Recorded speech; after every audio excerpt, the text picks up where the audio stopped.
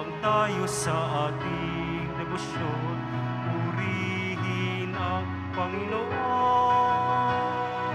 Viva poong Jesus Nazareno, awit at papuri alay namin sa iyo. Tingin ang dalangin at pasamo ng bayan mo. Viva poong Jesus Nazareno.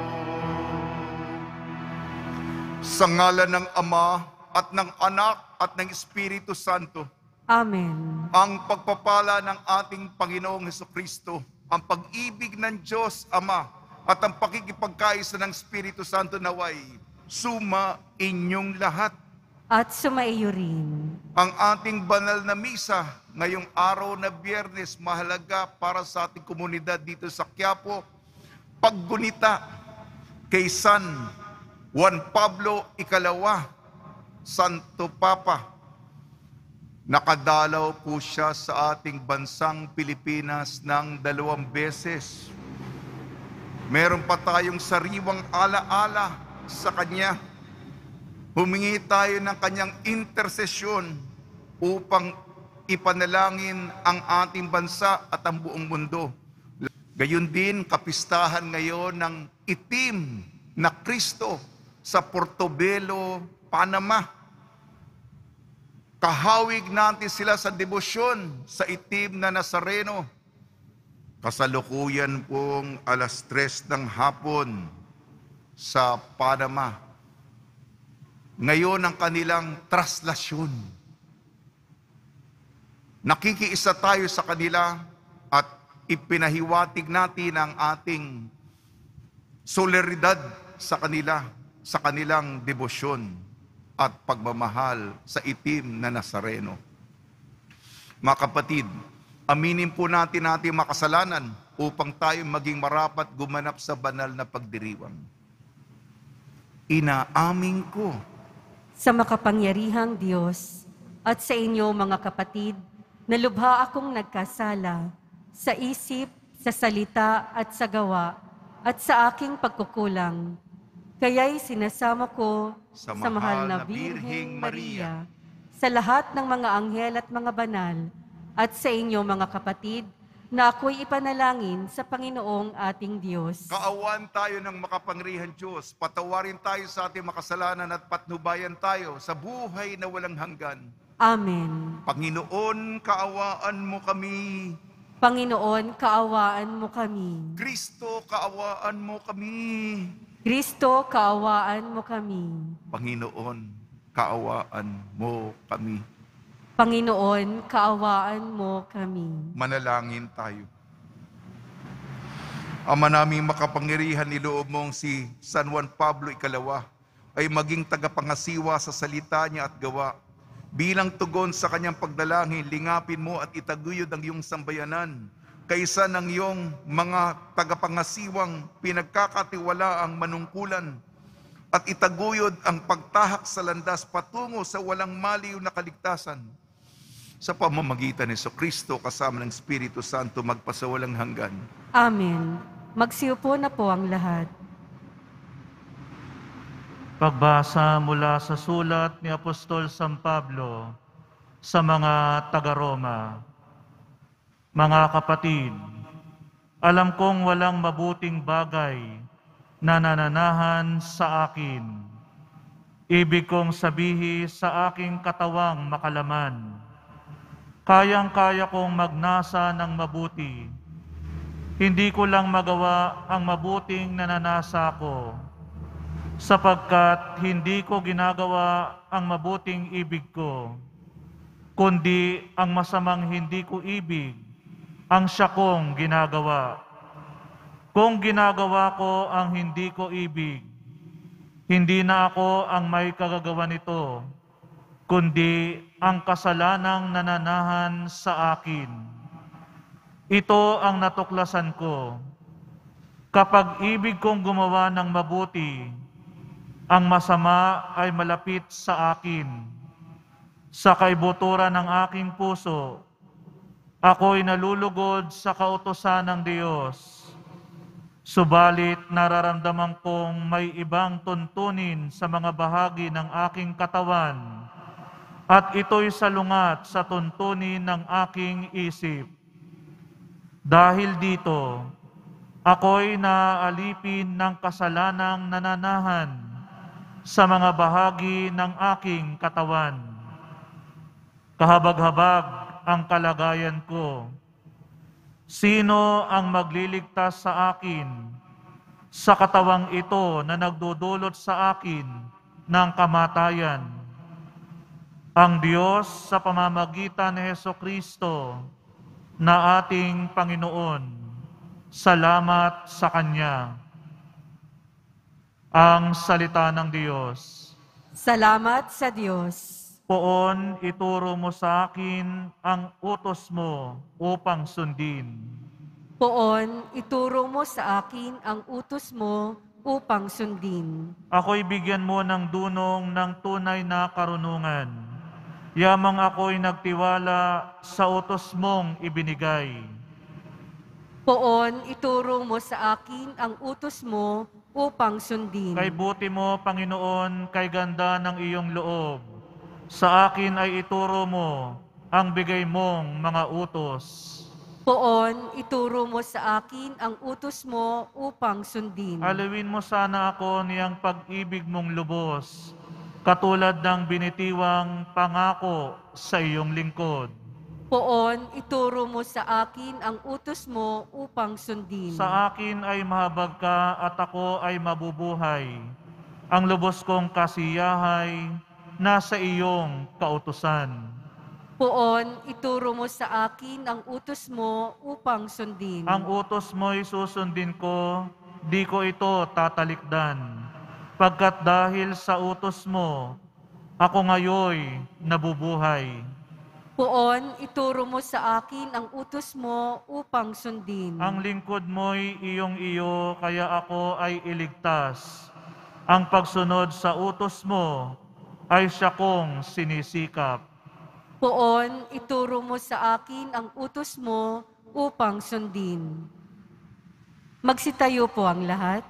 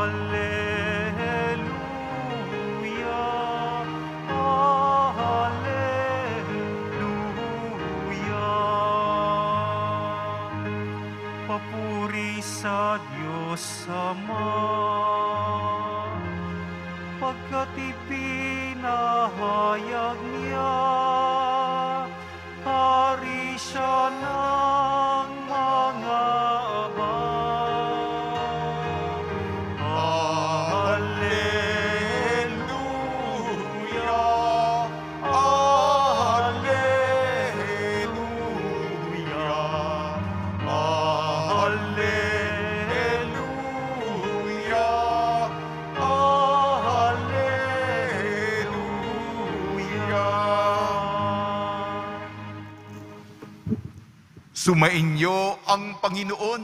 At sumaiyo rin. Ang mabuting balita ng Panginoon ayon kay San Lucas. Papuri sa iyo, Panginoon. Nung panahong yon sinabi ni Jesus sa mga tao, kapag nakita ninyong makapalang ulap sa kanluran, sinasabi niyong uulan. At gayon nga ang nangyayari. At kung umihip ang hanging timog sa sinabi ninyong iinit, at nagkakagayon nga, mga mapagpaimbabaw, marunong kayong bumasa ng palatandaan sa lupa at langit, ngunit hindi nyo mabasa mga tanda sa kasalukuyang panahon. Bakit ninyo, bakit hindi ninyo mapagpasyahan kung alin ang matuwid? Kapag isinakdal ka na sa hukuman, makipag-ayos ka sa mga nagsakdal habang may panahon. Baka kalad ka rin kanya sa hukuman at ibigay ka sa hukom sa tanod at ibinilanggo ka naman nito. Sinasabi ko sa inyo, hindi ka makakalabas doon hanggat hindi mo nababayaran ng kahuli-hulihang sentimo. ang mabuting balita ng Panginoon. Pinupuri ka namin, Panginoong Heso Kristo. Magsiupo na po ang lahat. Ngayong biyernes na humihingi tayo ng awa sa Panginoon, binabati po namin kayo sa pagpapala, pagbibindisyon, pagbibiyaya, pagkakalob ng napakaraming grasya mula sa ating napakabait na Nuestro Padre, Jesus Nazareno. Marami po ang nagtatanong, hindi ba meron na tayong senyor sa altar? Eh bakit ba tayo merong maliit na Nazareno? Ito po ay galing pa sa Portobelo, Panama. Isang bansa po to sa kabil- kabilang panig ng malawak na dagat, yung Pasipiko Oceano. At sila rin, katulad ninyo, kasuot ninyo, kaugali natin. Ah, alas tres pasado ng hapon sa kanila ngayon, hindi nila maprosesyon ang tayo poong Nazareno. Viva Nazareno. Ang tawag nila, Nasa Nazareno. Yun ang parang malambing na tawag nila. Parang palayaw sa Senyor. Hindi nila mailabas, hindi nila maprosesyon. Nasa loob lang ng simbahan sila. Kino-cross-post po natin, sineshare po natin ang kanilang mga aktibidades sa kanilang simbahan. Nandoon, ah, inalis doon sa kinalalagyan, pero nasa loob pa rin ng simbahan. Umaawit sila. Mahilig po silang sumayaw. Pinapahiwatig nila ang kanilang pagmamahal. Ito po, itim na Nazareno, Cristo Negro ang tawag nila. Yun ang kataga ng Espanyol sa itim, negro. Cristo Negro, yan ang tawag nila sa Portobelo, Panama. Nakadalaw po ako doon sa okasyon ng World Youth Day, Panama. Minsan nagtataka ko, nung bago ako dito, bakit may mga balangay tayong gumagapang sa trastasyon? Hmm, di ko maintindihan. Nung pumunta ako sa kanila, Gumagapang ang mga tao, malayo pa lamang, mga limang kilometro. Gumagapang patungong simbahan. At tayo meron tayong kaugalian, sana wag mamatay ito. Hindi ba kung may sakit na sanggol ka o bata nung isang araw, may isa humagalhol, lalaki kalalaking tao, may iyak kasi 50-50 ang kanyang bagong pinanganak na sanggol. Hindi ba kung may sakit ang ating bata, may tradisyon nun, sinusuotan natin ang damit ng Nazareno?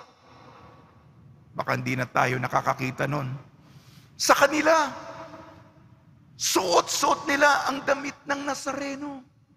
Marami pa mga ugali at higit sa lahat, higit sa lahat, may hirap sila na pag-iwanan ng mga mayayaman mga mayayaman na sobrang yaman. Tayo naiwanan na, desperado na, wala na tayong makapitan. Kaya sa pamamagitan ng social media, salamat sa Diyos, na-discover natin na may kapatid pala tayo sa malayo, sa kabilang panig ng osyano, ng malawak na dagat. Piyesta nila ngayon, kaya nagpahiwatig tayo sa ating komunidad, ng ating komunidad sa kanila, ang ating pakikiisa. Di ba?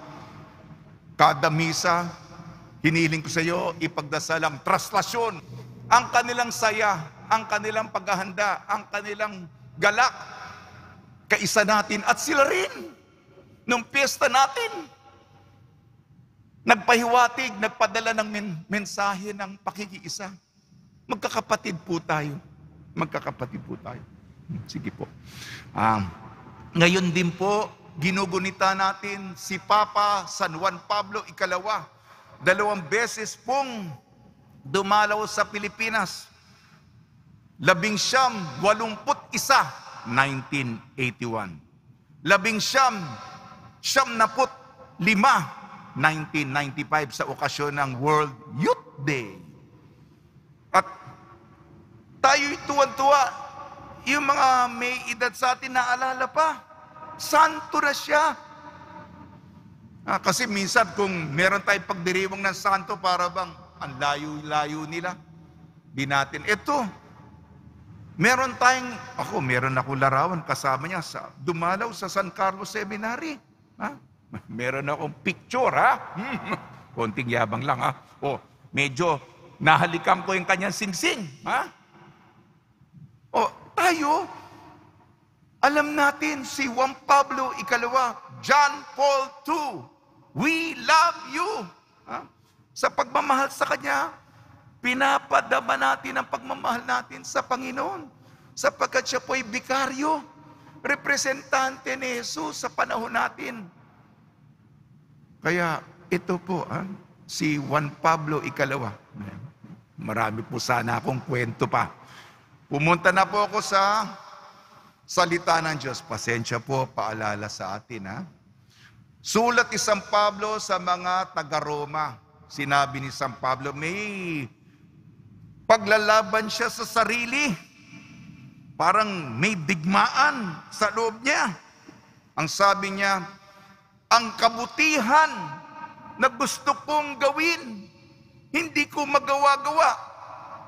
At ang ginagawa ko pa, yung masamang kinasusuklaman ko. Hindi ba nararanasan nating lahat? Gusto natin ang tama, hindi natin ginagawa. Yung kabaligtaran pa yung ginagawa natin. Kaya nga, bawat isa sa atin ay haharap din tayo sa tao sa Panginoon Diyos sa ta- katapusan ng panahon.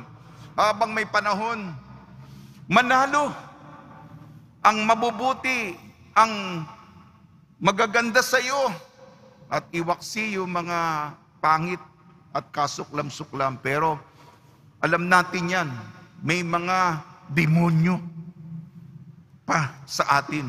Bagamat pasalamat tayo sa ating mga anghel de la guardia na ginagabayan tayo. Ha? Ipagdasal natin ang isa't isa na manalo ang kabutihan laban sa masama sa kalooban ng bawat isa. Sa ating ebanghelyo ayon kay San Lucas, sinabi ng Panginoon, Oh, ba, makulimlim, maitim nga, maitim ang maulap. Eh, di uulan, di umulan nga, malakas ang bagsak. Maghanda ka na ng payong. Eh kung tayo, marunong mag may interpretasyon, sabi ng Panginoon, eh bakit hindi nyo nakikilatis ang kamay ng Panginoon sa pang-araw-araw na buhay? Parang bulag tayo. Hindi natin nakikita. Ayun, nakita natin ang maitim na ulap. Di ulan. Bakit hindi natin makita ang kamay ng Diyos? Bakit nagbubulag-bulagan tayo o nagbibingi-bingian tayo? Nakikinig tayo sa maraming mga ingay at ang ating mata napupunta sa kung ano-anong kaaliwan. Ah, pa, paalala lamang sa atin yan. At isa pa, sabi, wag po tayong mapahamak. Ang trahedya po ay ikukulong tayo at hindi tayo makakalabas hanggang, yun ang huli po linya ng ating ebanghelyo, hindi natin nababayaran ng kahuli-hulihang sentimo. Anong ibig sabihin ito? Kung meron po tayong sama ng loob sa isang tao, meron tayong pagkapuot, meron tayong pagkamuhi, pinapa iral pa natin ang galit sa kapwa. Ika nga, dinidiligan natin, may pataba pa tayo. Ah, nagtatanim, ayun pala, yung may kataga tayo, nagtatanim tayo ng sama ng loob sa kapwa. Hmm. Kaya, hindi ka nagwapo, hindi ka na maganda, matapang na ang mukha mo. Bihira ka lamang ngumiti, depensibo ka na. Eh kasi nga, nagtatanim tayo ng sama ng loob. Pinagdadasal ko po na hindi tayo mapunta sa impyerno. Ligtas tayo sa purgatorio, pero baka tumagal tayo sa buhay sa kabila hanggang hindi nawawala ang mga masasamang damdamin sa iyo. Lahat ng mga tinitipo mong negatibong mga emosyon, wag na natin pong pairalin. Sige po. Okay po ba, ha? ha? Sige po. Ha? Ah, Pagnilayan po natin. Muli, pumunta ako kay Papa San Juan Pablo Ikalawa. Hilingin natin sa kanya na ipagdasal tayo. At yung susunod na eleksyon, ang intensyon ay mga mabubuting leader ang piliin natin na iniisip ay kapakanan ng Pilipino, lalong-lalo na mahihirap. Sa tulong ni Maria,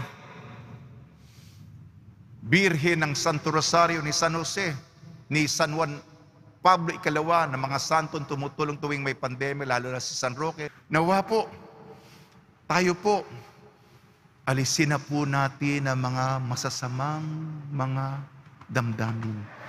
At ang umiral ay kapayapaan, kapatawaran, pakikipagkapwa, at pagmamahal sa ating kapwa-tao. Alang-alang sa ating Nuestro Padre Jesus Nazareno. Amen.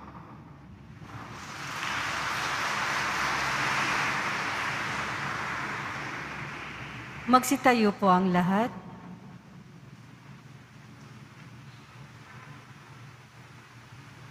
Minamahal kong mga kapatid, sinasabi ng Panginoon na maging handa tayo sa araw ng kanyang pagbabalik.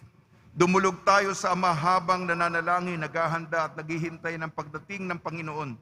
Tugon po natin, ihanda mo kami sa iyong paghahari, Panginoon.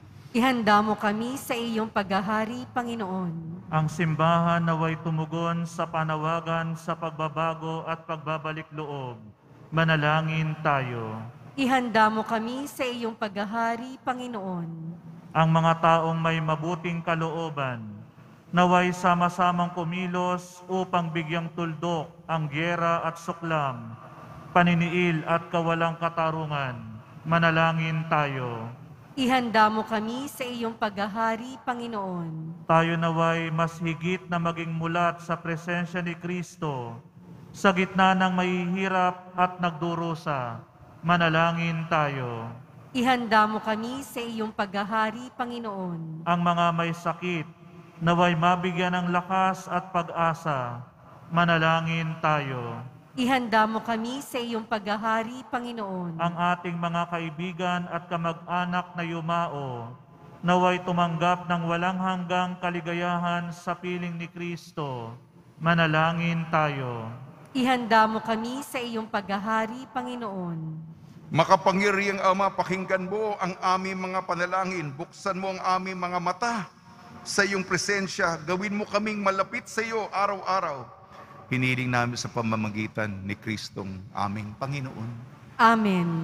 Magsiupo na po ang lahat.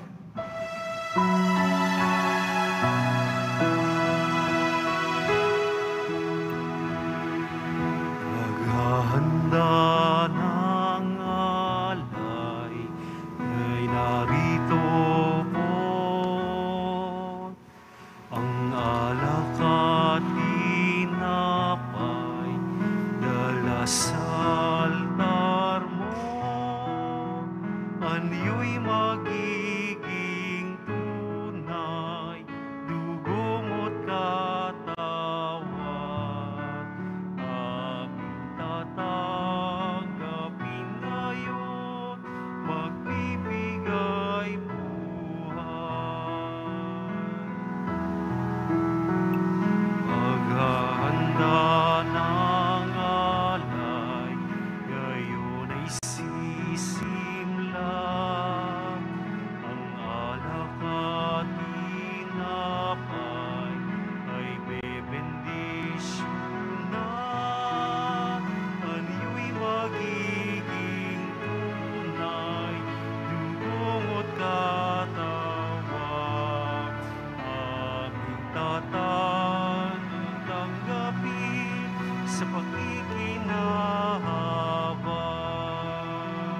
Magsitayo po ang lahat. Manalangin kayo mga kapatid upang ang ating paghahain ay kalugdan ng Diyos amang makapangyarihan. Tanggapin nawa ng Panginoon itong paghahain sa iyong mga kamay, sa kapurihan niya at karangalan, sa ating kapakinabangan at sa buong sambayanan niyang banal. Ama namin lumikha sa paghahain ngayong ginugunita ang iyong mga banal. Umaasa kami sa iyong pagtangkilik. Ang kasalukuyan at darating na kasamaan ay aming maiwaksi sa pamamagitan ng Kristo kasama ng Espiritu Santo magpasawalang hanggan. Amen. Sumainyo ang Panginoon. At sumaiyo rin. Itaas sa Diyos ang iyong puso at diwa. Itinaas na namin sa Panginoon. Pasalamatan natin ang Panginoong ating Diyos. Marapat na siya ay pasalamatan. Ama naming makapangyarihan, tunay nga marapat na ikaw ay aming pasalamatan sa pamamagitan ni Kristo na aming Panginoon. Ngayon si San Juan Pablo ikalawa ay pinararangalan sa pamumuhay niyang totoong uliran at pagiging maasahan sa panunungkulan at pagiging maasahan. Kaya't si Yeso Kristo na maasahan sa katapatan ay inihahayag sa pangangasiwa sa sambayanan. Ang malasakit na mga ulirang tagapangasiwa noon ay nagpapatuloy magpahanggang ngayon sa mga panalangin kanilang iniukol, kaisa ng sambayanan mo'y dito ay nagtitipon. Kaya kaisa ng mga anghel na nagsisiawit ng papuri sa iyo nang walang humpay sa kalangitan kami nagbubunyi sa iyong kadakilaan.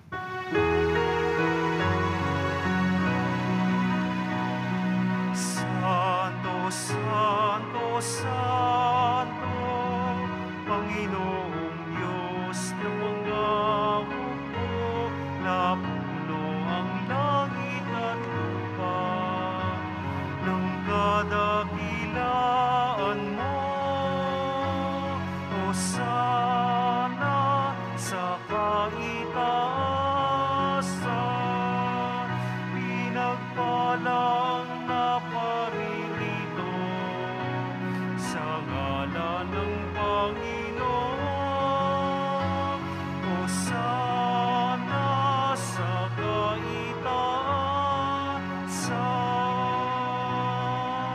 Magsiluhod po ang lahat. Ama naming banal, ikaw ang bukal ng tanang kabanalan. Kaya sa pamamagitan ng Espiritu, gawin mong banal ang mga kalob na ito upang para sa amin maging katawan at dugo ng aming Panginoong Yeso Kristo. Bago niya pinagtiis ang kusang loob na maging handog, hinawakan niya ang tinapay, pinasalamatan kanya, pinaghati-hati niya yon, iniabot sa kanya malagad at sinabi, Tanggapin ninyong lahat ito at kanin, ito ang aking katawan ihahandog para sa inyo.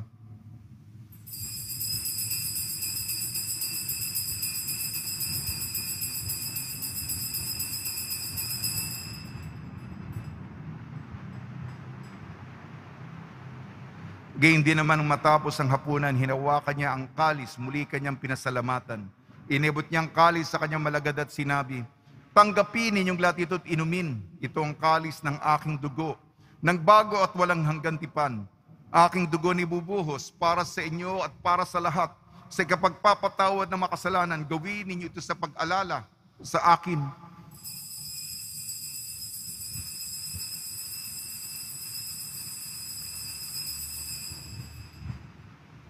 Magsitayo po ang lahat. Ipagbunyi natin ang misteryo ng pananampalataya. Si Kristo'y namatay, si Kristo'y nabuhay, si Kristo'y babalik sa wakas ng panahon. Ama, ginagawa namin ngayon ang pag-alala sa pagkamatay at muling pagkabuhay ng iyong anak. Kaya't inialay namin sa iyo ang tinapay na nagbibigay buhay at ang kalis na nagkakaloob ng kaligtasan. Kami nagpapasalamat dahil kami minarapan na tumayo sa harap mo para maglingkod sa iyo. Isinasamo namin kami magsasalo-salo sa katawan at dugo ni Kristo ay mabuklod sa pagkakaisa sa pamamagitan ng Espiritu Santo. Ama, lingapin mo yung simbahang laganap sa buong daigdig. Puspusin mo kami sa pag-ibig kaysa ni Francisco na aming Papa at ni Jose na aming obispo at ng Tanang Kaparian. Alalahanin mo rin ang mga kapatid namin na himlay na may pag-asang sila'y muling mabubuhay gayon din at lahat mga pumanaw, lalo na, na si Father Raymond Acuña. Kaawan mo sila at patuloyin sa iyong kaliwanagan. Kaawan mo at pagdapating kaming lahat na makasalo sa iyong buhay na walang wakas kaysa ng mahal na Birhing Maria na ina ng Diyos, ang mahal na Birhen ng Santo Rosario, ng kabiyak na puso niyang si San Jose kaysa ng mga apostol, Papa San Juan Pablo Ikalawa, San Aloysius Gonzaga, San Sebastian, San Lazaro, San Roque, San Juan Bautista at ng lahat ng mga banal na namuhay dito sa daigdig ng kalugod-lugod sa iyo. May pagdiwang nawa namin ng pagpupuri sa ikararangal mo sa pamamagitan ng anak na aming Panginoong Heso Kristo. Sa pamamagitan ni Kristo, kasama niya at sa Kanya, ang lahat ng parangal at papuri ay sa iyo. Diyos amang makapangyarihan, kasama ng Espiritu Santo, magpa sa walang hanggan.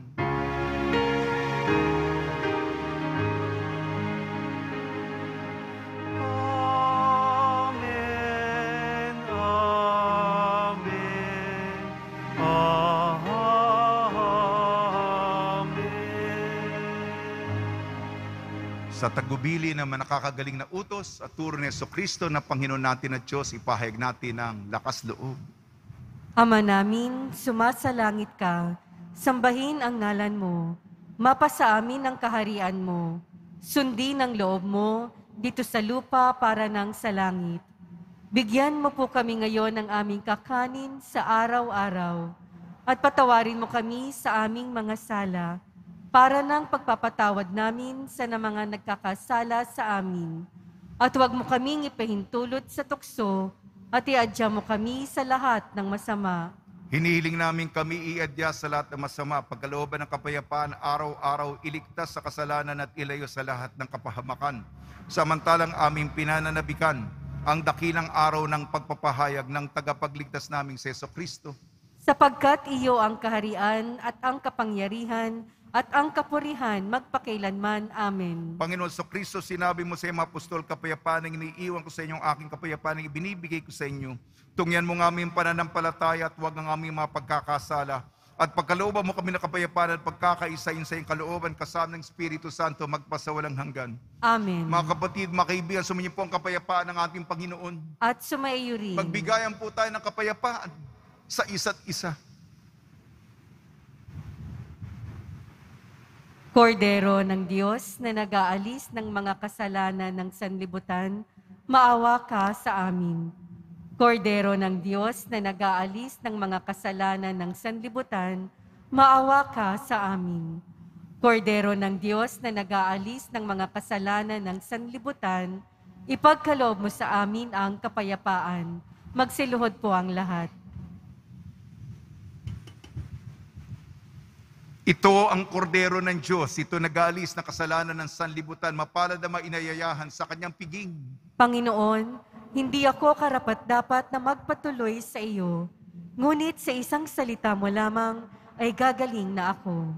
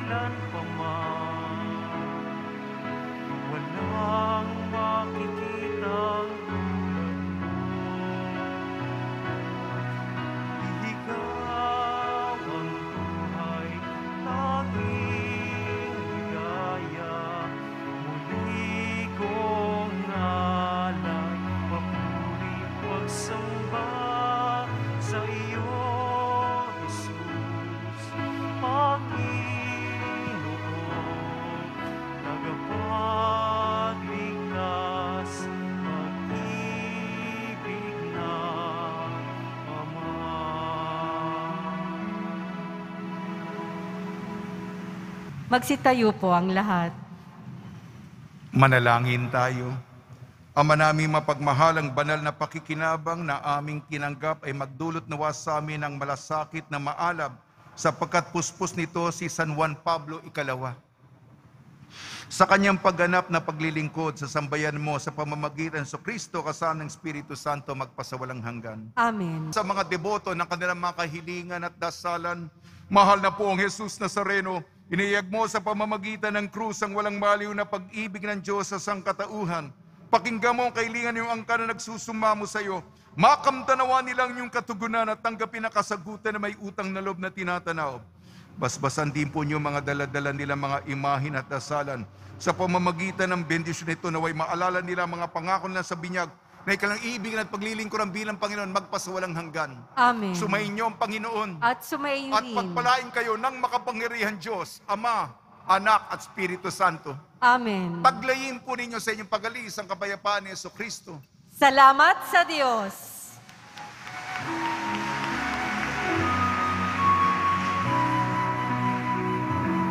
Nuestro Padre Jesus Nazareno, sinasamba ka namin. Pinipinto ka namin. Aral mo ang aming buhay at kaligtasan. Nuestro Padre Jesus Nazareno, iligtas mo kami sa kasalanan. Ang krus mong kinamatayan ay sagisag ng aming kaligtasan. Nuestro Padre Jesus Nazareno, dinarangal ka. Nuestro Padre Jesus Nazareno, nilulwalhati ka namin. Nuestro Padre Jesus Nazareno, dinarangal ka namin. Nuestro Padre Jesus Nazareno, nilulwalhati ka.